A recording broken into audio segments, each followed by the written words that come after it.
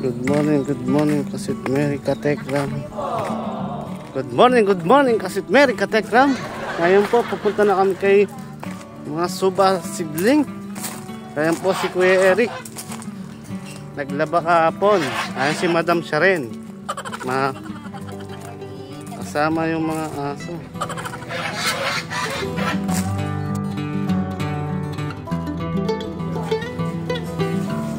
Hello, good morning, good morning kasi Mary katekram natin. Ngayon mag spray tayo ng pantalong. Panghood. Ngayon,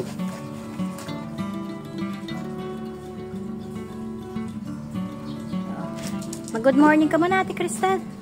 Ah, yan po, maganda po yung mood ni Ate Crystal. Ano, Ate Crystal?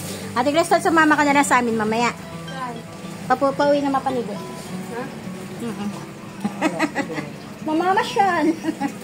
Ayan. Ay, Kuya Jana. Good morning, Kuya Jana. Mga bakita, di pa ako naliligo. Okay lang yan, Kuya Jano. Siyempre, hindi pa naman ano ngayon. Yan po, si Ka Robin, mag spray at saka si Kuya Eric. Ayun si Kuya Eric, napakasipag. Napakasipag naman po si Kuya Eric natin. Dadami po.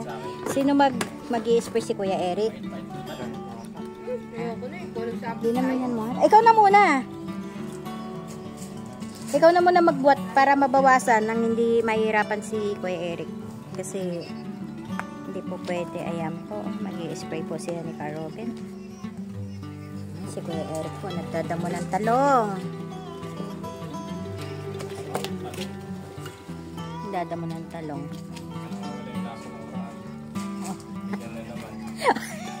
Siyempre para hindi hindi siya mapapasukan ng gwardiya. Oh, ayan po si Kuya Eric po natin. Hmm. Masipag po magdamon. Matagal po siyang matagal po siyang hindi nag-work. Ha? Oo nga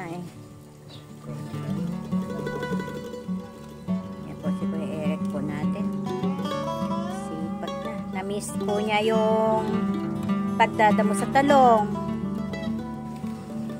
Dinugunit niya, hindi na lang ipanak.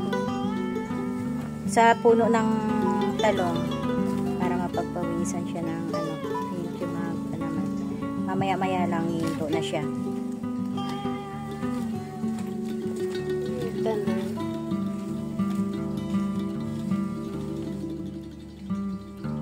Babawasan lang Kuya Eric ni Robin yung ano, nadamihan niya ng tubig eh.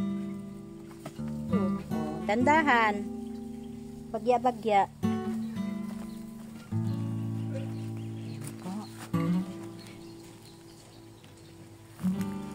Yan po, katataba na, mataba, marami na po silang nakukuhang, nakukuhang ano po, bunga ng talong.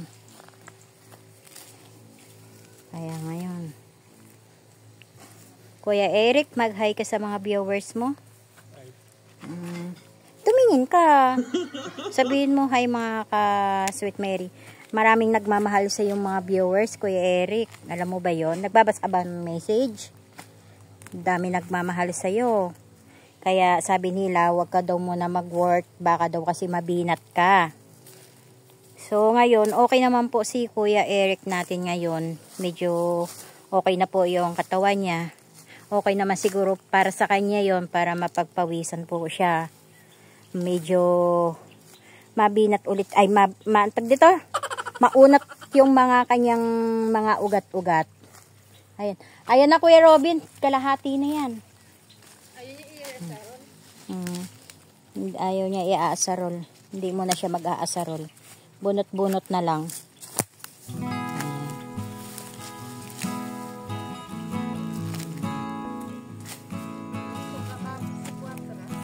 Bakit?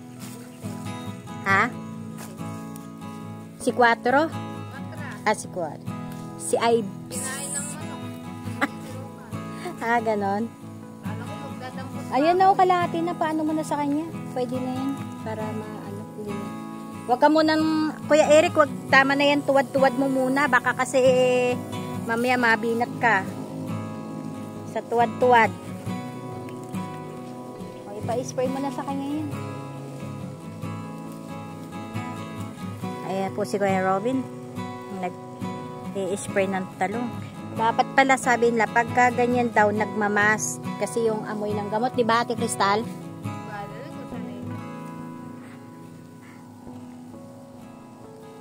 Ayun na, kaya na ni Kuya Eric yan, oh. Kalahati na. Ayan po, si Kuya Eric. Ayan po, nagdadamo ng puno ng talong.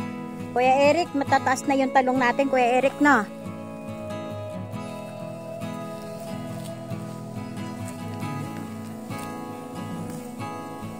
Ini-spray para.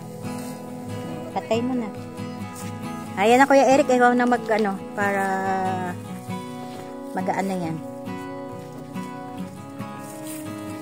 Po, siya na naman po yung mag spray kasi po parang gusto po niya yung Yan, dito ka lang kuya. Yan. Gitna ka lang kuya. Pwede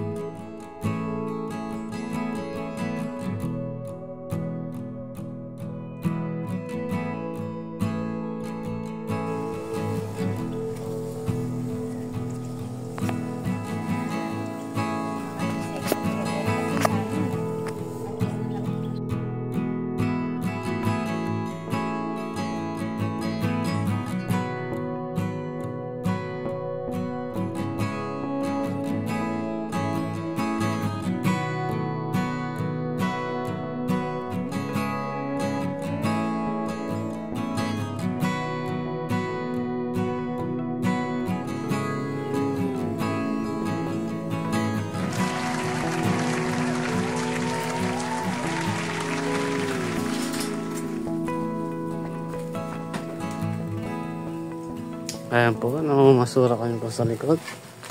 Sabay sinusunog namin po doon. Kasama namin po si Kuya Eric dyan.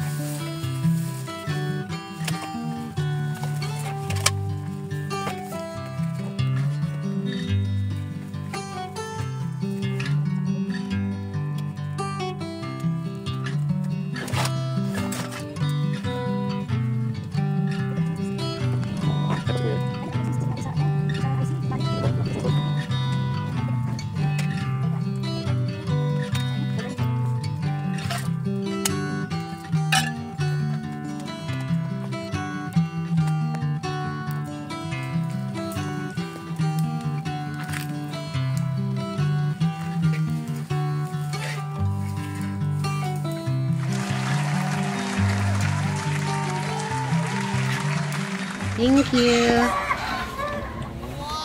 Ito ang kebab. Kebab. Kebab biryani. Ay, ito yung tabuli. Bray, try mo yun. Bakit? Hindi ako makain. Tabuli. Masarap yan. Bakit? Makakain sausage.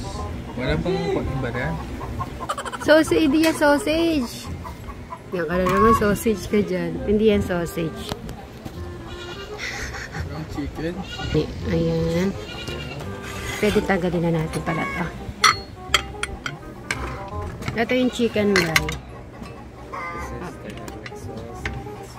Yan, thank you.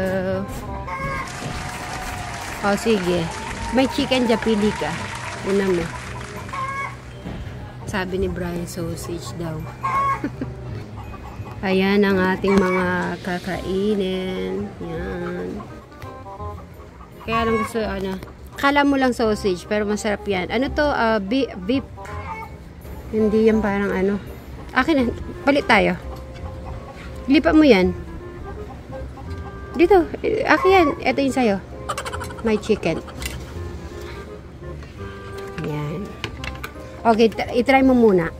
Para, ipapatikim ko muna kay Bri para nag, ah, nagbago ata yung ano niya. Hindi rin siya ata maano sa sibuyas.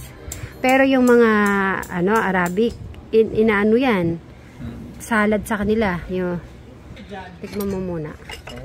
Sige, pati, tikman mo muna. Try mo muna. Masarap din yung ka kanin, basmati rice yan eh. Kain tayo. Okay, kain po tayo. Isang subo muna, isang subo. Sige, akala mo lang ah, Oh, ano? Oh, 'di ba? Hindi sa sausage.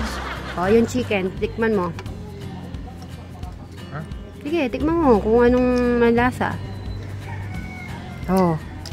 Ano? Okay? Oh, sabi ko yun sa'yo eh. Meron pa ako in-order yung parang ah, isang, ah, yung parang, ha- yung hamus. So, hintayin ko po yung hamus. Tapos yung mga sauce-sauce. Yan. Yan. Sabi ko kay Bri, try niya yung mga sauce para i-mix niya ganyan. Pero ako naman, diri ko naman maano yung sibuyas. Gusto ko lang sa sausawan lang yung mga sibuyas na to. Hintay ko lang yung isa para pag after nun ay sabay kaming kumain ni Bri. Pinatikim ko lang muna po sa kanya kasi para nagbago, parang ah, nag-iba yung ah, ano niya. kung makakain niya ba. Ano naisip mo, Bri, kung makakain mo? Kung makakain mo ba? Sige, try mo, try mo pa. Una kasi, 'di ba po sa mga ano, nung ako nung bago ako sa Dubai, hindi ko rin malunok-lunok hanggang nasana inasanay ako. Nung ano pala, ang sarap, tingnan mo nagluluto ako, 'di ba? Syempre iba pa rin yung ano yung mga ibang lahi nagluluto talaga ng mga biryani. So hintayin ko lang po yung isang order natin. So yan, kakain na po kami ni Bri. Yung hummus, ano po, masarap. Same pa rin naman po yung katulad na ano. Tayo sa tabuli. Mm Yung, um, same yung natry ko sa Dubai. So, masarap din po yung sauce. Pero, nagustuhan mo ba, Bri? Yung food? Hmm? Nagustuhan mo? Maliban sa tabuli, ma- maliban sa tabuli kasi magiging kambing. Naging kambing na ako, Bri. Ala, mehe. Sumasagot ako, mehe. Anong gagawin ko, Bri? Okay lang maging kambing ako. Ha? Ay, ayaw mo kambing ako. so, okay naman po naman lahat po ng ano, ah, at least ah, satisfied naman po yung ating kinain ng araw. So, guys, mamaya na lang po, ubusin lang po namin ni Brian. Bye! Bye-bye ka, Brian.